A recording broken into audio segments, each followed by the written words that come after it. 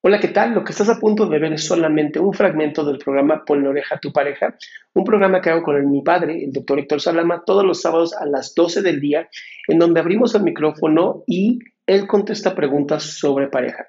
Espero que disfrutes de este episodio. Hoy vamos a hablar de, en, una pareja, ¿quién es tóxico? ¿No? Y, y para eso, entender un poquito por qué se le dice que es tóxica una, a, una, a una persona de la pareja. Básicamente porque la persona tóxica tiende a provocar culpa en la, pareja, digamos, y nada de lo que hagas le va a satisfacer. Siempre va a estar quejándose de ti, siempre. Va a estar diciendo que lo hiciste mal, todo, agrediendo constantemente, y obviamente la otra persona se lo aguanta también. También hay que pensar que uno agrede y el otro se deja agredir. El sometedor y el sometido. Eh, también lo que hace la persona tóxica es evitar que tengas contacto con otras personas. Es decir, te quiere para, para ella misma o para él mismo, así, y no, no quiere que alguien entre en, en esta relación, porque si no, perdería el poder. Y eso es algo que no tolera la persona tóxica. La tercera es la persona que agregue, agregue, ah, agrede físicamente o eh, emocionalmente, ¿no? Eh, son personas que no hay nada que hagas que esté, que esté bien y siempre va a agredir. Al principio estas personas agreden verbalmente o con gestos y luego poco a poco van eh, agrediendo de forma física, psicológicamente, emocionalmente y físicamente. Ahora, uno dice, ahora, ¿por qué es posible que una persona se quede con alguien que esté así? Bueno, por la autoestima. La autoestima baja hace que la persona se someta más fácil a la persona que ejerce más el poder. Otra cosa más que tiene la persona tóxica es celosa esa persona. Es celosa. ¿A dónde fuiste? ¿A qué hora llegaste? ¿Con quién estuviste? ¿Cómo se llama?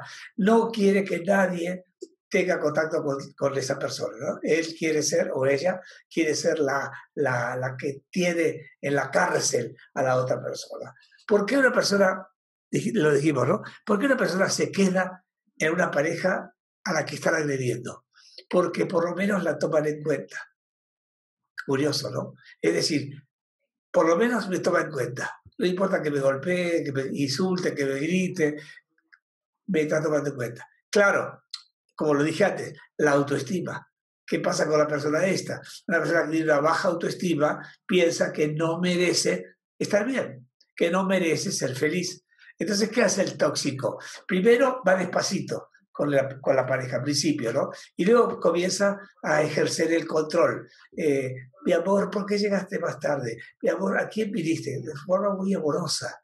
Y tú dices, bueno, qué bien, porque se ocupa de mí, le intereso. Entonces, y ahí va entrando solo, solo poco a poco y poco a poquito va quitándote las amistades que tienen para que él sea la única, o él o ella sea la única persona que pueda dirigir esta relación.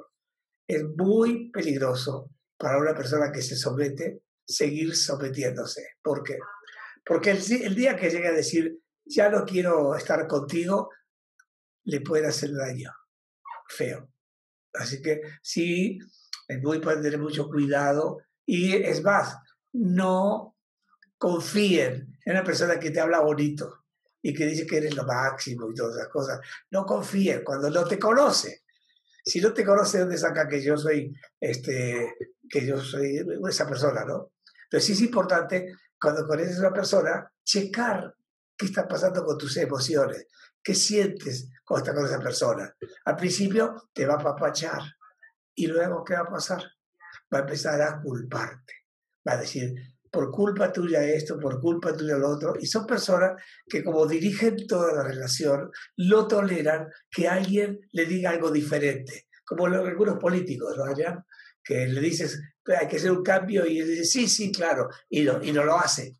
En la pareja tiene que haber la capacidad de hacer un cambio y decir, yo merezco estar bien, yo merezco estar sana y yo merezco tener una persona al lado mío que no sea tóxica Ok, ahora, en muchas ocasiones esta toxicidad viene del aprendizaje que tuvo con los padres. Tal vez había cuatro hermanos, cinco hermanos, seis hermanos, y había o un padre sádico o una madre sádica. Y todo esto también los niños van aprendiendo y no les gusta para nada, pero se someten. ¿Por qué? Porque es la autoridad. Ahora, ¿qué pasa cuando te casas con una pareja? Lo hemos dicho muchas veces aquí, pareja, pareja, no así, no así, pareja. ¿Esto qué quiere decir? Que tratar al otro como te gustaría que te, trataran a ti. Si a ti te gusta que te traten bien, tratar bien a los demás. Si una persona dice, a mí no me trae, ah, y perdón, pero esto es importantísimo, ¿cuántas veces la persona hace lo posible para ser castigada? Y tú dices, ¿cómo es posible que alguien quiera ser castigado? Entonces, vamos a meternos en la historia personal de, esa persona, de, de ese ser humano. Seguramente el castigo viene cuando era niña o niño que hacía cosas para que ser tomado en cuenta. Y la única forma de ser tomado en cuenta es haciendo tontería y media para que los castiguen y le, les den el, golpe o lo que tú quieras decir. Estos niños que aprendieron a someterse para manipular, se enganchan con otra persona que los va a controlar, los va a aislar, va a ser celosa esa persona.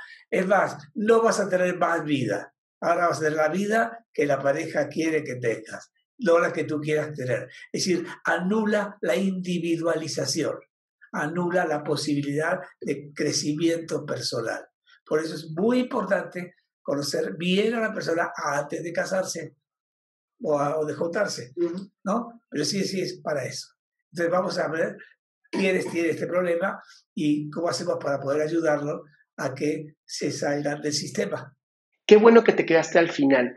Si tú quieres participar en esto, lo único que tienes que hacer es entrar a www.adriansalama.com y ahí hay una parte donde dice pregunta en vivo y ahí mismo te puedes dar clic y los sábados antes de las 12 que seas de las primeras personas que pueden hacer su pregunta en vivo.